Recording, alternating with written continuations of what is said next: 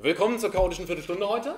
Heute soll es darum gehen, wie wir zum Beispiel ähm, uns mit UDEV auseinandersetzen und über UDEV äh, Folgendes tun können. Wir können zum Beispiel so einen USB-Stick nehmen, den ich hier habe, den reinstecken und dann irgendwelche beliebigen Dinge ähm, triggern, die dann passieren. Zum Beispiel kann ich so eine externe Festplatte haben, die stecke ich in mein Gerät rein und es läuft automatisiert sofort ein Backup los, das erstmal ein komplettes Backup auf, meine, auf diese Platte stiebt, die ich angestöpselt habe.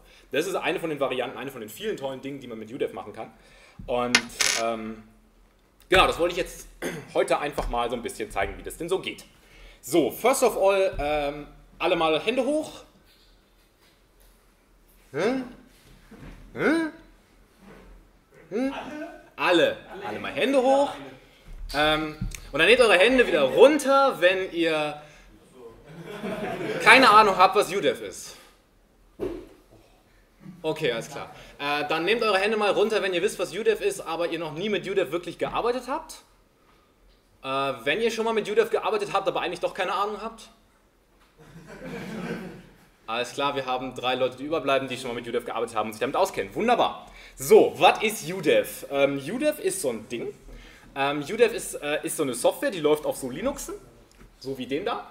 Und was die macht, ist im Wesentlichen, sie kümmert sich um Hotplug-Events. Also zum Beispiel, wenn ich so einen USB-Stick reinstecke, dann kümmert sich, dann kann ich den USB-Stick irgendwie aufrufen. Das ist jetzt nicht der USB-Stick, aber ich habe hier irgendwie so einen Dev SDA, das ist irgendwie meine interne Festplatte. Das Ding ist angelegt von UDEV. Da ist irgendwann diese Festplatte aufgetaucht, während diese Kiste hochgefahren ist. Und dann hat UDEV das gesehen und dann hat UDEV gesagt, dann mache ich mal hier Dev SDA irgendwie so dahin. Ähm, und UDEV kümmert sich eben auch darum, wenn irgendwie ich Dinge anstecke oder wenn Dinge plötzlich auftauchen und sorgt dafür, dass das System entsprechend aufgesetzt wird und dass ich bestimmte Dinge damit machen kann. Das können wir uns auch mal anschauen. Wir können uns einfach mal den UDEV ADM angucken. UDEV ADM Monitor, der sagt uns nämlich jetzt, äh, der guckt uns jetzt nämlich diese ganzen Events an und sagt uns Bescheid, wenn ein Event kommt. Ich stecke jetzt mal diesen Stick hier rein. Äh, da. Und wir sehen, dass wir nichts sehen, weil dieser Stick gerade ein bisschen nervig ist. So, jetzt sehen wir was. Ähm, jetzt sehen wir, dass uns der UDEV ADM Monitor mit einer ganzen Menge an Zeug zuschmeißt. Und das, was man da oben in der Ecke gesehen hat, ist mein Automounter, das ist gerade egal. Ähm, genau, wir sehen hier verschiedene Dinge. Wir sehen einmal so Kernel-Events und wir sehen so UDEV-Events. Äh, Kernel-Events sind sozusagen das, wo das Gerät an sich auftaucht und diese UDEV-Events sind die Events, die auftauchen, wenn UDEV mit dem Gerät fertig ist. Äh, und wir sehen irgendwie, wenn ich so einen USB-Stick einstecke, dann sagt der Kernel irgendwie, hier haben, wir haben so ein Add und dieses Add passiert irgendwie so hier im USB-Subsystem, irgendwie logisch, weil dieses Ding über USB angeschlossen ist. Und jetzt gerade ist es wieder runtergefallen. Dieser Stick ist ein bisschen kaputt, aber das tut trotzdem. Äh, genau, wir sehen hier, wir haben Events im SCSI-Subsystem, weil das Ding so als Gerät irgendwie auch im SCSI-Subsystem mit dabei hängt. Was haben wir noch? SCSI-Disk, SCSI, also ein Haufen von Zeug. Und das können wir jetzt irgendwie benutzen, also wir, wir stecken dieses Ding hier irgendwie an und dann kommen diese ganzen Events und wir können es mal auf diese Events triggern. Wir können zum Beispiel sagen, ich würde gerne, wenn ein bestimmtes Gerät auftaucht, man hat das einen Wackelkontakt, äh, wenn ein bestimmtes Gerät auftaucht, würde ich bestimmte Dinge tun. Erstmal müssen wir jetzt uns überlegen, wie wir dieses Gerät dann klassifizieren können. Äh, jetzt ist es da, sehr schön. Und dazu können wir folgendes machen. Ähm, das muss ich kurz. Äh, ich kann mir das natürlich nicht merken, deswegen habe ich da ein Alias für. Wir können im Wesentlichen sagen, UDEV ADM kann nicht nur monitoren, der kann uns nämlich auch Informationen geben. Und zwar wollen wir den Path, den dieses Gerät quasi in unserem System hat, haben. Und zwar für das Gerät namens SDB. Also dieser Stick ist gemountet worden als SDB, er ist gerade weggefallen als SDB und kommt gerade wieder als SDB. Ähm, Habe ich mal erwähnt, dass dieser Stick ein bisschen beunruhigend komisch ist? Egal. Tut. Ja, für, für Backups ist ja super. Äh, genau. Und was das Ding macht, ist, es gibt uns einen ultra langen, ganz kompliziert aussehenden String. Ähm, und das ist im Wesentlichen äh, der Pfad, den dieses Gerät jetzt im äh, Subsystem slash sys hat.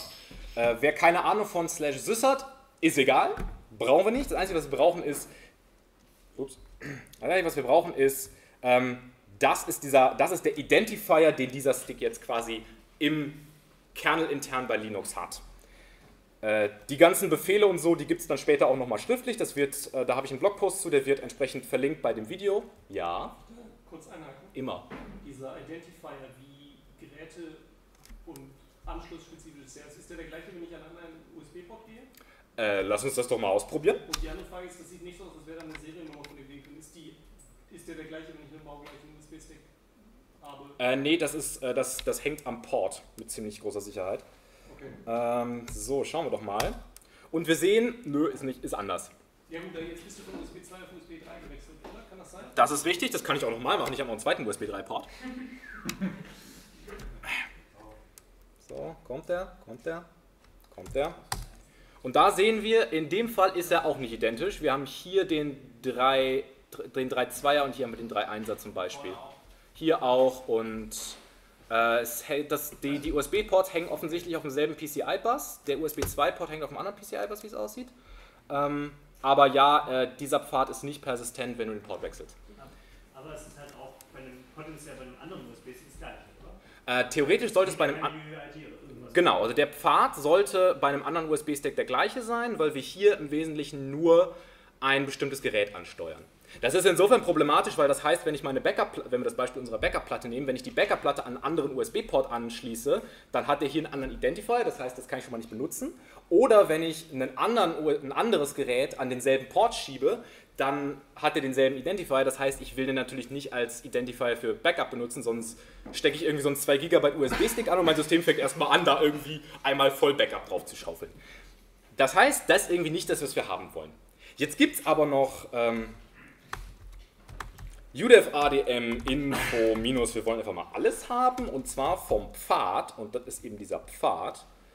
Ähm, Bums. Ja, ich sollte vielleicht ja, ADM Info minus A minus P ein Leerzeichen wäre schön. So. Ja. Genau. So, jetzt sehen wir, dass wir hier irgendwie eine ganze Menge Gemüse kriegen, damit wir da ein bisschen besser durchgucken können. So, viel schöner. Genau. Was sehen wir? Wir sehen hier jetzt UDEF ADM Info, sagt mir, was für Eigenschaften sind mit diesem Gerät verknüpft. Zum Beispiel guckt er sich jetzt das Device an. Device ist PCI, bla, hast du nicht gesehen, Zeug, blub, bla, block, SDB. Das ist das, was wir ihm ge äh, gegeben haben. Und der, wir sehen hier, das ist irgendwie das Blocksystem, das Subsystem des Kernels. Der Name, den der, der Kernel dem Ding gegeben hat, ist SDB. Das ist das, was wir auch in slash dev finden. Ähm, sollte irgendwer irgendwelche Verständnisfragen haben oder, ich, oder jemand hat das Gefühl, er wird abgehängt, einfach Bescheid sagen, dann korrigiere ich das on the spot.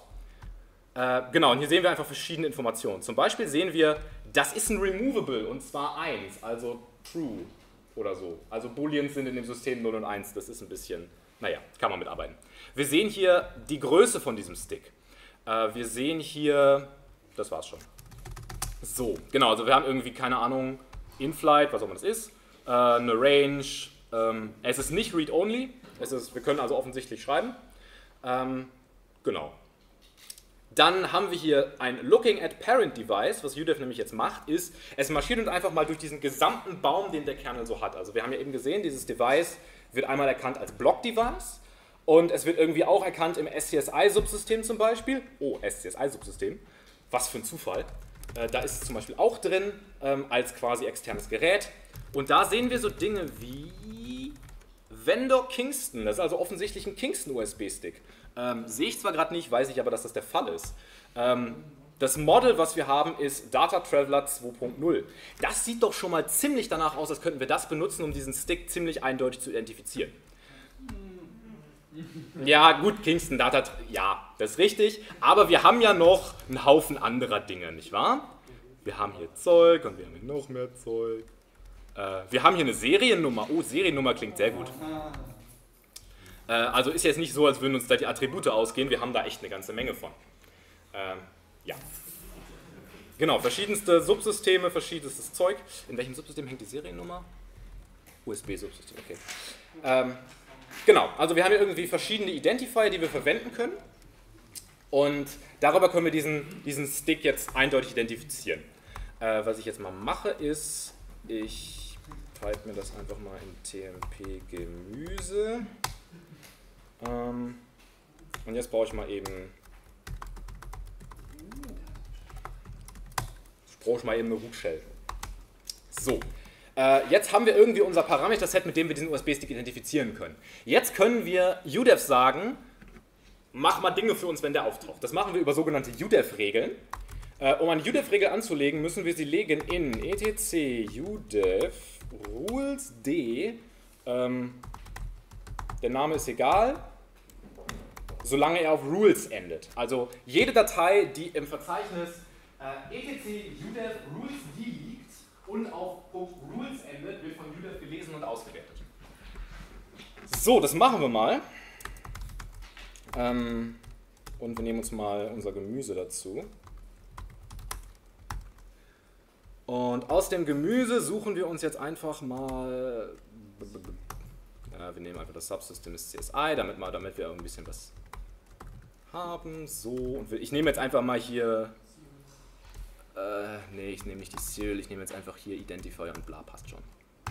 Äh, wenn man das in der Praxis anwendet, will man das natürlich so machen, dass das äh, eindeutig ist. Aber ich denke, for the purpose of this talk passt das schon. Genau, so, wir sehen also, wir haben irgendwie, wir sind im Subsystem, wir haben irgendwie, das Ding hängt im Subsystem STSI, das Model ist Data Traveler 2.0, der Vendor ist Kingston und wir sehen hier, wir können mit Doppelgleich äh, diese Dinge entsprechend matchen. Also ich sage quasi, wenn das Subsystem SCSI ist und wenn das Model von dem Ding Data Traveler 2.0 ist und wenn der Vendor Kingston ist und bla, dann passieren Dinge.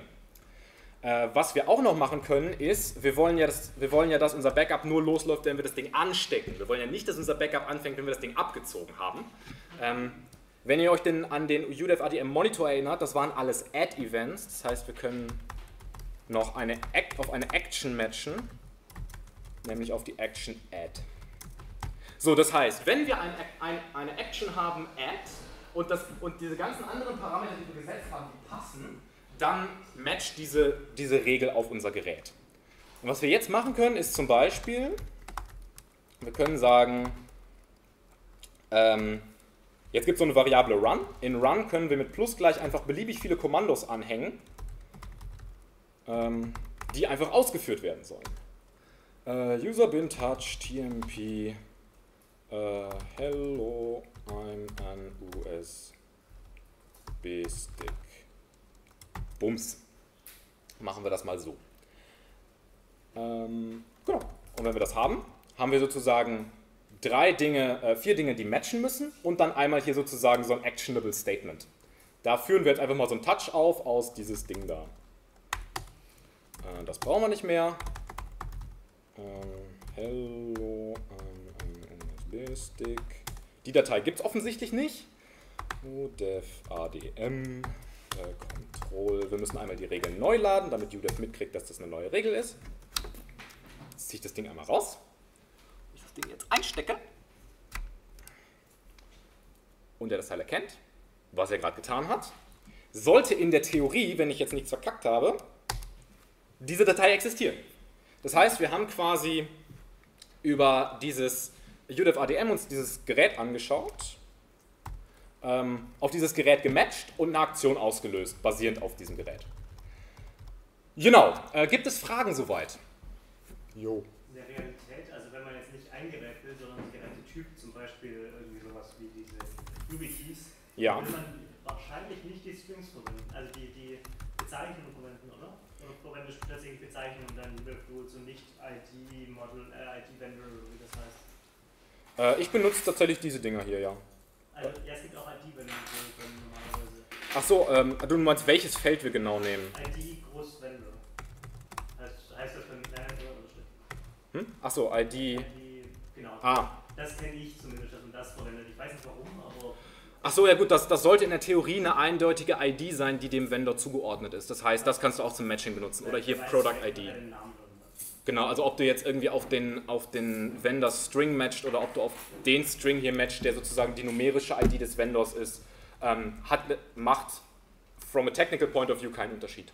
Äh, du willst natürlich, ja, ob ich jetzt auf, auf, auf Kingston matche oder ob ich auf 0951 matche, ist kein Unterschied für Judith. 0951 ändert sich nicht. Manufacturer kann sich doch rein theoretisch ändern. Genau, das ist dann praktische, der, der praktische Punkt. Also für UDEF ist es egal. Äh, in der Praxis willst du natürlich idealerweise Felder auswählen, die sich höchstwahrscheinlich nicht ändern oder die höchstwahrscheinlich möglichst wenig mit Geräten übereinstimmen, die nicht triggern sollen. Genau. Idealerweise so eine Seriennummer ist schon echt ein ganz attraktiver Punkt.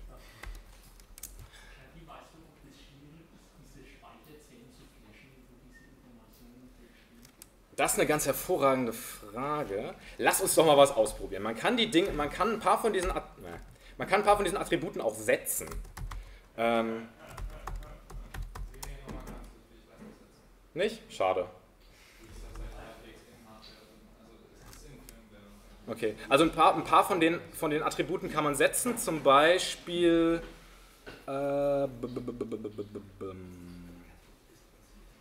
äh, das Removable. Ich bin, bin mir relativ sicher, dass du das Removable hier, ähm, die Zeile, die könntest du artifiziell ähm, per Hand auf Null setzen und das Ding dann quasi als nicht Removable Device deklarieren. Ähm, es gibt zum Beispiel auch ein ähnliches Flag, das heißt Internal. Damit kannst du Geräte zum Beispiel als äh, intern oder nicht intern deklarieren. Das, kann, das mache ich zum Beispiel bei ein paar Geräten äh, im Zusammenhang mit Device Mappern so. Ähm, ich könnte zum Beispiel einfach sagen, äh, war das jetzt ein Ad? Das war eins mit R nur.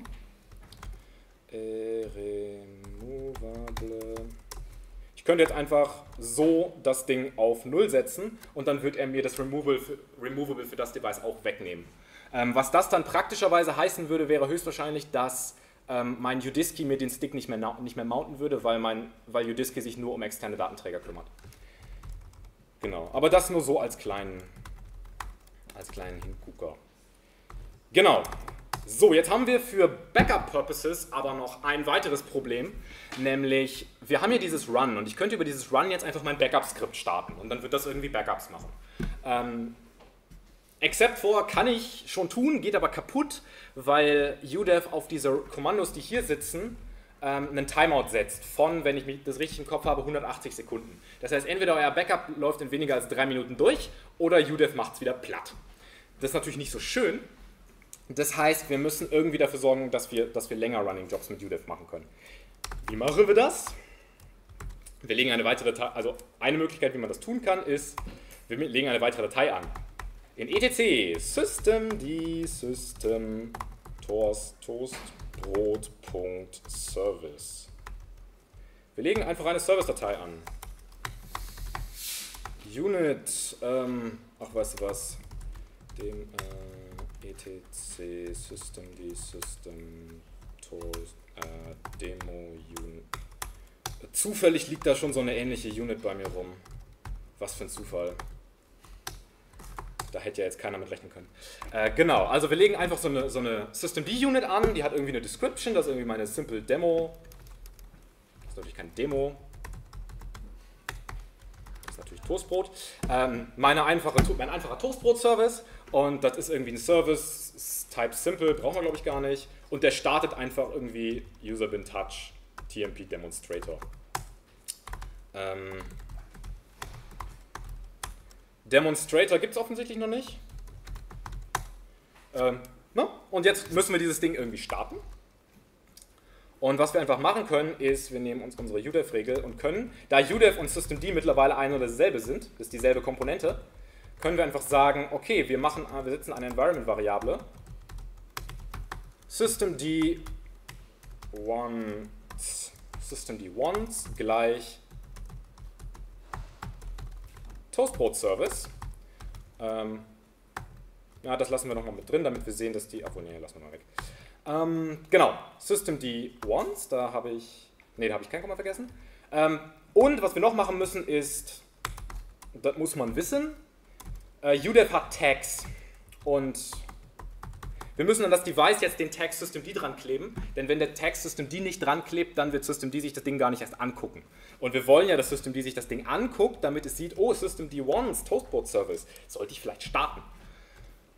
Genau. Äh, dann machen wir das. udev adm control reload. Flup. Und dann ähm,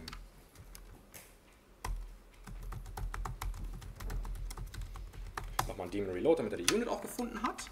Äh, so, wenn wir jetzt den Stick einstecken, 20 nur um Stunden handeln, da ist das Gerät. Und in der Theorie haben wir einen äh, Einfall-Demonstrator. Das heißt, Status Toastbrot Brot Service äh, exited 13 seconds ago. Äh, Sieht also ziemlich nach, das danach aus, sieht also ziemlich danach aus, dass das Ganze so funktioniert hat, wie wir das gerne hätten. Genau, und das heißt, da kann ich jetzt in diese Systemd-Unit, kann ich jetzt einfach ähm, den, mein äh, Backup-Skript reintun, kann dann noch irgendwie zusätzlichen Foo machen, kann noch irgendwie einen User setzen oder was weiß ich. Ähm, da habe ich auch eine etwas ausführlichere Unit noch in dem Blogpost drin. Ähm, genau, im Wesentlichen kann ich hier jetzt jeden beliebigen Long-Running-Job reintun, der dann von UDEV ausgelöst wird. Ähm, und das Schöne ist, dadurch, dass das jetzt in der Systemd-Unit sitzt, habe ich auch zusätzlich noch automatisches Logging von dem Output von dem Kommando, das ich laufen lasse. Das heißt, ich kann mir später auch anschauen, ähm, was mir das Kommando so ausgegeben hat. Und zwar in seiner eigenen Unit. Das ist ganz schön. So, soweit so geil. Ähm, wir können es aber noch ein bisschen fancier machen. Ähm, wenn man zum Beispiel so einen ähm, so einen, so einen Stick ansteckt, dann, werden, dann wird der, ist der bei mir jetzt irgendwie auf SDB gemappt worden. Aber es kann ja auch sein, wenn schon SDB existiert, weil ich keine Ahnung schon eine andere Platte drin habe, dann ist der Stick irgendwie SDC. Und wenn mein Skript jetzt irgendwie, weiß ich nicht, hardcoded auf SDB mappt, dann stecke ich diesen Stick an, das Skript wird ausgelöst und fängt an irgendwie mein Backup auf den 2 GB großen Stick zu schaufeln, der da als SDB gemountet ist, obwohl die eigentliche Backup-Platte irgendwie SDC ist. Das ist ja nicht so schön. Äh, deswegen kann man irgendwie sich das Leben einfacher machen und UDEV auch sagen, mach mal einen Symlink. Ähm und wir nennen ihn mal Toastbrot. Einfach so, habe ich gerade Lust drauf. Ähm, genau. So. Gibt's nicht. UDEV, so, das Ding mal rausziehen. UDEV ADM Control minus R. Stecken wir das Ding wieder rein. Da ist er. Und jetzt haben wir einen Symlink Toastbrot, der uns auf SDB1 zeigt, nämlich auf die entsprechende, das entsprechende Gerät, ähm, das da gematcht wurde. Richtig. Und jetzt können wir im Wesentlichen in unserem Backup-Skript sagen, keine Ahnung, das Gerät Dev Toastbrot ist eben das, auf das du dein Backup machen möchtest und das und zwar kein anderes. Wenn wir den Stick wieder abziehen, das ist auch ganz fancy, ähm, ist der Symlink auch wieder weg. Das heißt, UDEV räumt sogar hinter uns auf. Genau, das war das. Ähm, gibt es Fragen bis hierhin? Gut, wenn es keine Fragen gibt, wie liege ich in der Zeit? Auch eigentlich ganz gut dann wäre das im Wesentlichen so ein Setup, wo man im Wesentlichen so ein Backup machen kann. Wenn man sozusagen, also was ich jetzt zum Beispiel mache, ist, bei mir mountet das Backup, kümmert sich das Backup-Skript selber um das Mounten von dem Ding. Das heißt, ich kann das sofort triggern, sagen, mounte mir Dev Toastbrot irgendwo hin, mach's Backup rein, unmounte das Ding danach wieder und schmeiß es raus. Wenn ihr ein Backup macht auf eine ähm, Platte, die schon, die, die von was anderem gemountet wird, zum Beispiel, wenn ich diesen Stick einstecke und der würde jetzt hier von Udisky gemountet und dann würde ich dahin irgendwie ein Backup machen. Dann müsst ihr in eurem Backup-Skript natürlich vorher noch sagen, ähm, dass, dass, darauf achten, dass das Ding noch eben wartet, bis der Mount Point auch da ist. Ansonsten schaufelt euch das Backup potenziell irgendwo auf dieselbe Festplatte, die ihr gerade backupt. Das ist nicht so gesund. Genau. Aber abgesehen davon finde ich das einen relativ coolen Weg, wie man im Wesentlichen vollautomatisierte Hardware-Trigger-Backups bauen kann. Ich stecke die Platte ein, Backup läuft, fertig, ich muss mich um nichts kümmern, außer dass die Platte auftaucht. Wenn ich zu Hause bin, nehme ich einfach das Kabel, wo alle meine Platten dranhängen, stecke das ein, läuft alles von ganz alleine und äh, ich muss mich um den Scheiß nicht kümmern. Genau. Wenn ansonsten keine Fragen mehr sind, äh, es gibt noch, wenn man das im Zusammenhang mit einer, wie lange habe ich gebraucht? 20 Minuten? Ja, nee, genau. Das, das, das steht, äh, wenn man das zusammen, im Zusammenhang mit einer Dockingstation verwendet, so wie ich das mache, dann, ähm, also bei mir steckt eben in der Dockingstation die Platte drin. Die wird nicht automatisch erkannt, wenn ich aufdocke, dafür gibt es aber auch einen recht einfachen Fix, der, den habe ich dann auch verblockt. Genau. Ja. Ähm, wenn man jetzt mehrere Platten hätte, auf die man backupen will, zum Beispiel, Ja. wechselt, ähm, gibt es da sowas wie eine Bruderverknüpfung oder sowas? Oder, oder ist dann einfach ein Weg mehr, oder einzige Weg mehr? Also ich habe einfach mehrere Zeilen. Äh, ja, ich hätte jetzt auch mehrere Zeilen. Ich weiß gerade nicht. Nee, ich glaube, du kannst keine. Ich will, ich will, will jetzt meine Hand für nicht ins Feuer legen, aber ich habe jetzt. Glaube nicht, dass du, dass du solche Bedingungen oder verknüpfen kannst. Ähm, da bietet sich aber einfach an, man kann einfach äh, in diesen Rule-Files beliebig viele Regeln anlegen und die werden entsprechend einfach, äh, einfach um sozusagen die in Dateien zu gruppieren. Das heißt, du kannst einfach eine Backup.rules machen und da legst du eben, genauso wie du es wahrscheinlich gemacht hast, äh, legt man einfach mehrere Regeln rein, da stört sich UDEF nicht dran. Genau, ja. du Kopieren gerade gemacht hast, äh, findet das gerade, wenn du Skype lässt, dann jedes, jeden Run, äh, das war jetzt, ein Symlink, aber ähm, jeden Run einmal aus? Äh, das, macht das halt viermal, wenn du jetzt viermal die gleiche Zeit hast. das ist eine ganz hervorragende Frage, das habe ich noch gar nicht ausprobiert. Oder was macht? Ja gut, man kann natürlich und und und so ich nicht. Wahrscheinlich, wahrscheinlich wird der aber, ja doch, er, er, würde, er hat vier Regeln, wahrscheinlich wird er viermal triggern. Also er matcht nicht auf das erste, sondern er macht jede Regel. Er, er führt jede Regel aus, ja. Ich glaube nicht, dass UDEF die Duplication da hat. Ähm, Wäre spannend, ob es, ob es das hat. Bin mir nicht sicher. Ich glaube nicht. Man kann da auch solche Abschnittssysteme machen, dass du sozusagen Spr- Sprünge hast. Du, ähm, das hatte ich heute in einem anderen Fall gesehen, als ich was gedebuggt hast, dass du Bedingungen hast und dann Sprünge hast, wo du Ach, UDEF Oder Go-To. richtig go, äh, quasi, quasi ein Go-To zu verschiedenen Sprungmarken. Also mehr habe ich es mir noch nicht angeschaut. Ja, doch stimmt, UDEF kann auch Go-To. Ob man das benutzen will, sei jedem selber überlassen. Genau. Ja, Also erstmal zu deiner Frage ist, äh, UDEF kann so ein bisschen Regex, also man kann äh, so ohne Verknüpfungen relativ einfach mit so ah, das, das stimmt, genau. Was, was, genau, was UDEF kann, ist zum Beispiel Globbing in, in den Keys. Hier zum Beispiel. Ich kann irgendwie, keine Ahnung, Data Traveler, beliebige Versionen. Das, das geht. Ähm, aber wenn ich mehrere, also bei, bei einer Seriennummer wird das wahrscheinlich nicht wirklich besonders hübsch werden. Ja, du kannst halt. Ja, du kannst eine Oder-Pipe. Ja, gut, das, das würde vermutlich gehen. Ob das hübsch ist, muss man dann gucken, aber das, das würde gehen. Genau, inner, innerhalb des Strings kann man, kann man Regex machen. Ich hätte da nochmal eine Frage. Ja. Und zwar, ähm, ich verstehe nicht so ganz, äh, wo, an, an welchem Punkt denn UDEF so arbeitet. Ist, ist, hat UDEF einen Teil im Kernel oder ist das nur ein User-Space? Äh, UDEF ist, glaube ich, nur User Space, kriegt die Events aber vom Kernel. Also hängt sich im Wesentlichen an den Kernel dran und verarbeitet die vom Kernel emittierten Events. Das ist das. Hm? Was ist das DevTemplate-S, was äh, ich brauche, um, um äh, UDEF zu nutzen? Äh, wie meinst du das? Du kannst mal, also zumindest auf meiner Maschine muss ich auf slash dev das äh, dev-tmpfs mounten, Achso. worin dann äh, UDEF-Dinge tut.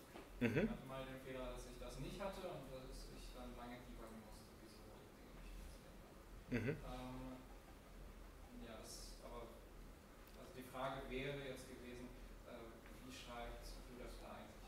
Aber das, ist eine gute Frage. Also auf jeden Fall so. Ähm, da muss ich mal überlegen. Nee, da muss ich jetzt tatsächlich gerade passen. Ähm, es könnte natürlich sein, dass tatsächlich UDEF für bestimmte Dinge ganz spezifischen DevTempes, äh, Dev, äh, DevTempes, TempFS äh, targetet und diese ganzen Device-Nodes eben genau da erstellt, damit man es theoretisch, also ich glaube nicht, dass es auf, auf den konkreten Mountpoint achtet, ähm, sondern die einfach in das entsprechende ähm, Device reinwirft. Ähm, wobei, wäre spannend, habe ich noch nie ausprobiert. das heißt, UDEF kann auch ohne DevTemplate arbeiten? Also Im Prinzip, also ich-? Also UDEV ist im Wesentlichen mehr als, als, als nur ein Populator für, für, für Dev. Also alles, was man in also alles, was man in dem Ordner hier sieht, das hat alles, das hat ähm, quasi, müsste alles UDEV gemacht haben. Das hat UDEV da alles reingeworfen. Ähm, zum Beispiel dieses, man sieht hier dieses äh, Wayne-Device. Dieses Wayne-Device ist dasselbe Device wie das, wo ist es, wo ist es, wo ist es? Wie das äh, Null-Device, wo ist denn das jetzt? Da. Das Wayne-Device funktioniert genauso wie das Null-Device. Ähm, das habe ich da auch über UDEV, äh, über UDEV erzeugt. Aber ich meine, das da sind ja jetzt alles Dateien und Ordner. Ja. Das sind halt spezielle Dateien. Genau. Die Frage ist halt, ob UDEF das auch auf so einer X-Cube-Datei ablegen kann. Du meinst diese konkreten Dateien? Also rein theoretisch kannst du ja diese ganzen Dateien, glaube ich, alle in so X4 packen. Also Theoretisch sollte das gehen, wenn X4 den Dateitypen unterstützt. Ich weiß mal, ich hatte einen Vektortest, aber niemand anderes auf X4. Aber Das kann man UDEV bestimmt irgendwie sagen. Ich weiß aber nicht wie. Ähm, was, also was UDEV halt auch macht, ist es nicht nur slash dev, sondern eben auch ähm, slash sys. Die Werte in slash sys kannst du zum Beispiel auch über UDEV setzen. Ähm, ich setze zum Beispiel meine Trackpoint Sensitivity über eine UDEV-Regel in slash sys. Also du kannst diese ganzen Attribute, die wir gesehen haben in, ähm, äh, TMP Gemüse. Diese ganzen Attribute hier, das sind alles Attribute aus, dem, aus, aus Sys. Also klatsch im Wesentlichen vor den Path hier äh, noch ein Sys davor, dann findest du genau diese Dateien, die UDEF sich da selber auch anguckt. Und diese ganzen Attribute zum Beispiel, ja, dann machen wir das doch gleich mal. Ähm, äh, was ist denn das? Ja, genau, dann nehmen wir doch einfach mal den. Ah, ne, das seht ihr jetzt natürlich nicht. Äh, alles klar. cd sys devices. Äh, was war das? Habe ich vergessen. Ah, PCI bla bla bla war das. Das ist der 14er gewesen. Ja, kommt schon. Ah, nee. 0, 0, 0. Äh, 4 mal die 0, nochmal 4 mal die 0 und hier wollten wir die 14 haben. Äh, USB 3. Mm, USB 3, Dankeschön. So, wo geht's da? Das war der 3.1er, glaube ich. Ne? Richtig. Und dann kommt jetzt der 3.1. Ach, das ist so eine Symlink-Hölle. Äh, und dann waren wir bei Host 6. Und dann waren wir bei Target, glaube ich. Und dann waren wir bei 6000. Und dann sind wir irgendwo hier. Dann waren wir bei Block. Dann sind wir bei SDB. Und dann sehen wir da diverse Dinge. Ähm, SDB 1. Power. Das Schöne ist, man kann sich in diesem, äh, in diesem Sys-Subsystem auch wunderbar über Symlinks im Kreis drehen. Also ich kann mich hier wieder hochhangeln zum, zum USB 3-Subsystem und dann wieder runterhangeln und wieder hochhangeln. Das ist super. Ähm, aber da sehen wir zum Beispiel, keine Ahnung, Auto Suspend Delay Millisekunden. Das wollte, da wollte ich natürlich nicht rein CDen, sondern das wollte ich einfach mal ausgeben. Ähm, okay, das darf ich, das kann er offensichtlich nicht lesen. Ähm, Gibt es irgendwas anderes Schönes, was wir haben? Äh, gucken wir doch mal. Ah, hier, Removable. Bums, das 1. Das ist also offensichtlich ein Removable. Das ist genau das Property, was wir auch in diesem Device Tree gesehen haben. Also was UDEF ADM Info im Wesentlichen macht, ist, es nimmt uns den Scheiß da ab, dass wir diesen ganzen Kram hier manuell machen müssen. Aber alle Properties, die ich hier habe, äh, Capabilities haben wir da glaube ich auch mal gesehen, das ist 51. Ähm, diese ganzen Files, das sind im Wesentlichen, das, äh, das sind im Wesentlichen Dateirepräsentationen von den Sachen, die wir da auch gesehen haben äh, in UDEF. Und jede von, im, im Prinzip jede von denen kann ich theoretisch auch setzen. Weitere Fragen, Anmerkungen? Ähm, Ja. Dazu die Anmerkung, wenn man jetzt sich nicht so einen Content-Link äh, ranhängen möchte, gibt es diese schönen äh, Classes äh, in äh, Sys. Also wenn du nochmal nach nur CD Sys machst und Die da kann man sich jetzt auch schon wieder sehr weit durchhangeln. Das ist dann, wenn man sich Genau. nicht diesen scheiß Namen merken möchte. Das frisst dann die übrigens UDEF Admin Info auch. Mhm. Ähm, dann hätten wir hier Sys-Class, Block, SDA. Ah, und da haben wir sie zum Beispiel ein bisschen kürzer. Dann Subsystem. Mhm. Und, Und dann sind wir wieder da, wo wir vorher waren. Jetzt können wir wieder SDA. richtig. Und dann können wir wieder Subsystem. Su ah, Subsystem, SDA. Das können wir jetzt lange, lange treiben. Weil es ist ein, es ist ein Irrgarten von Symlinks da unten. Es ist schon häufiger vorgekommen, dass ich in diesem Subsystem irgendwas nachgucken wollte und plötzlich merke ich, Moment, dieses Directory kommt mir bekannt vor. Ach ja, da war ich ja irgendwie drei, drei Ordner vorher schon mal. Das ist ganz, es ist wunderschön. Macht ganz viel Spaß. Gut. Weitere Fragen, Anmerkungen, Kommentare? Wenn dem nicht so ist, dann danke ich für eure Aufmerksamkeit und wünsche noch einen angenehmen Chaos-Treff.